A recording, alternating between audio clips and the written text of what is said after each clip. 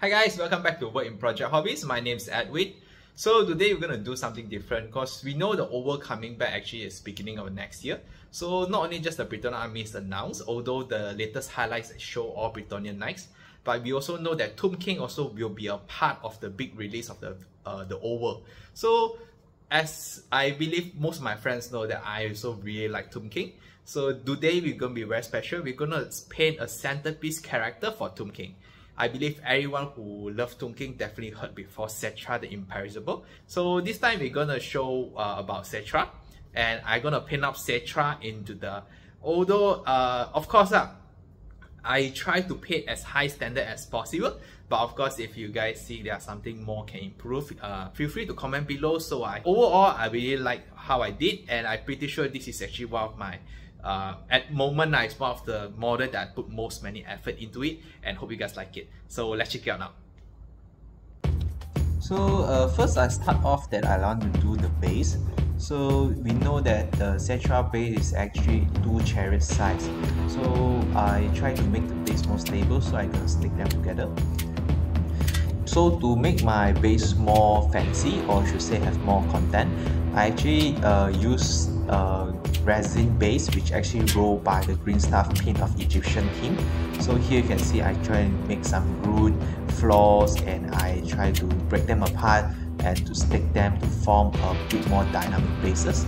So here you can see I try to cut off the edges to show that it's um, much more have those uh, platforms, uh, bricks thickness and try to make this like uh, centralized wrapping through all the runes and here I'm trying to testing out if I put a horse lah. So for the left side horse, uh, because I trying to put the skeleton skull uh, so that's why there the horse uh, foot might have not a proper footing. So I'm trying to adjust it to make sure it could stand on one of the rock pile which I'm gonna use uh, to, to stack on it. So here is it's like pretty much like a test of whether all the horse should be on spot so that I can pin it down and uh, super glue them. So here I using PVA glue to fill up all those gaps before I can try to put those sand uh, texture and glue them on. So this is more like a testing and also to review each step before I go further and glue more stuff. So here you can see I'm trying to look at the angle, is it look proper? Then now after finish priming, this is the end result of the base. I believe it's quite dynamic and also to show that Settra is a very heroic position. It's always climbing higher and trample all others uh, Tomb King and all others enemies in its fantasy world. Of course, there's few spots that uh, priming did not really cover. I will touch up that later when uh, painting. So I usually like to prime them in black, then I build the contrast only to the lighter tone. So here you can see even though priming black, you still can see those Egyptian monuments uh, uh, details. So later with dry brush you can see. So here is pretty much uh, finish the bases and also the uh, dry brush of the four horse. Here I try to add more a vibrant color of the sand brown and all those, those uh, golden sand. So here of course continue dry brush and now for the monument of the skull the skeleton head I will use to paint it more into like a jade. When to paint green I like to uh, base it with purple or blue color related uh, to show the contrast and I slowly build up. Here I use turquoise green. Uh, exact color is actually use uh, Reaper paint. Uh, so here using the turquoise color to slowly build up and uh, I purposely made the head also more into purplish in the way it's actually want to hint that this is probably the previous uh, followers or maybe the arch enemy of the Khemri which is actually Nagash. So here I try to make more the team that even Settra could destroy and also tramp over the influences of Nagash so here uh, to build up the tone of course I slowly use uh, turquoise color or paint over to the uh, to the purple of course later we can tone down using contrast paint but now uh, pretty much is using just uh, dry brush to build out where the light should source should come from and you can see the contrast between the colors. So now to show the skull, I, I want to highlight the details. Here I'm going to use a very bright, uh, actually mix of the turquoise and the white color. And here also using dry brush technique uh, slowly to build up and also to show the details. Here I'm trying to achieve to like a jade feel color tone. So uh, once it's dry, actually you can see the color will really start popping up and actually it's really doing really well. I'm really happy with the end result.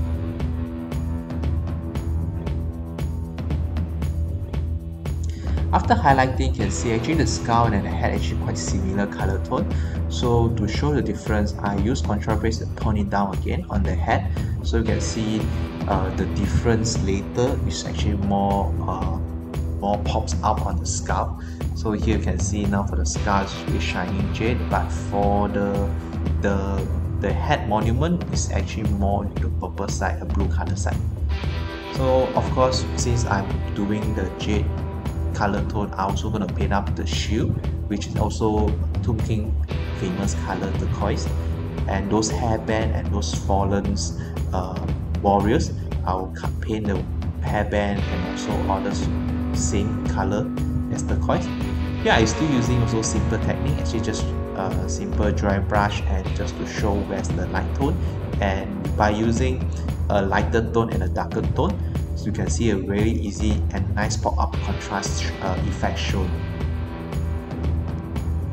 So here, as you can see, we know the light source is coming from the top, so always from the top we're going to do lighter tone and we slowly build up to downwards so you can see there's actually a really nice contrast. So I really like to use this technique and I guess it's a really uh, cool way to do it. You guys also can try to implement and your miniatures will look really good. So for the King Chariot, of course, there's a wing, uh, those uh, beetle wing. So here we are uh, gonna do turquoise color also to show uh, technically uh, a light or those gem feelings, uh, gem color tone. So here in the same, I just use turquoise to highlight from the darker tone to lighter tone to show the contrast.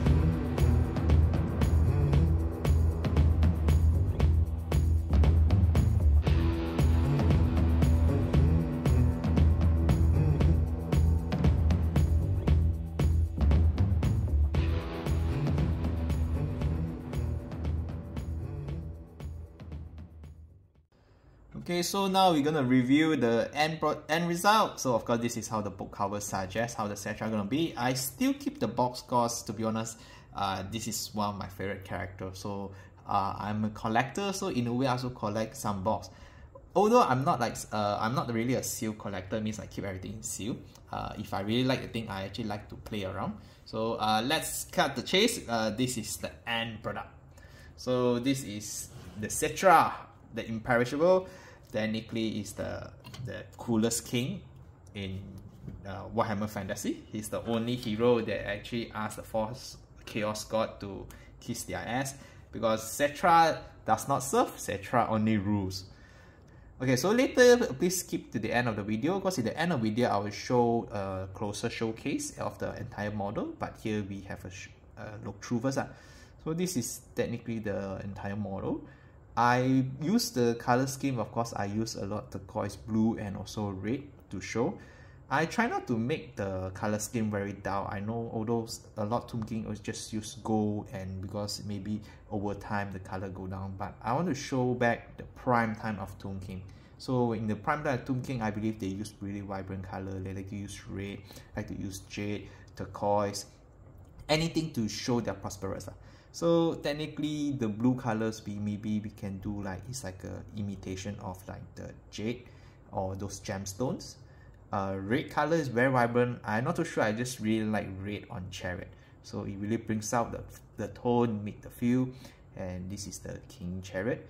Uh, for the gold, I actually use technically not really a non-metallic uh, metal method lah, but it's a mix. Uh. I mix metallic paints and non-metallic to show the highlights. So uh, the banner, this is actually the Settra King banner. Oh, also, by the way, because this model, I got it in metal. although people say metal is more on to display but it's not really friendly for play but uh, it's the emperor it must be in the higher standard so this is the end result uh, the base of course I trying to do a bit like because we know that uh, Settra when he just uh, awoke from his sleep due to the Nagash special rules not special rules uh, technically his magic just go amok and uh, awakes all the mummies includes Settra. So when Settra came out, imagine that all the dynasty kings are awakened. But there's only one king to rule. When all the kings, like your great grandson, your grandson, your son, your father, your grandfather, everyone used to be the king, and now everyone to rule. So of course, there's a lot of civil war. But uh, Settra doesn't care because Settra is the most badass king. He kicked all other Tomb King ass and uh, make sure everyone to serve under him, and he unite the Tomb King and fight against the Nagash. Nagash, uh, this model actually I got it from uh, third party, but technically it really suit the feel. Uh, he, I want to show that Settra technically uh, trample all others uh, dynasty or even influence of Nagash. You can see those traitors, not traitors, uh, the others, uh, Tomb King that rule uh, or serve other kings technically just got trampled by his chariot, run over, destroy, create all those uh, monuments in the ruins, and only Settra shall stand and rule the entire mm, fantasy. So this is, will, will be a real centerpiece, really nice piece to slay knights in future.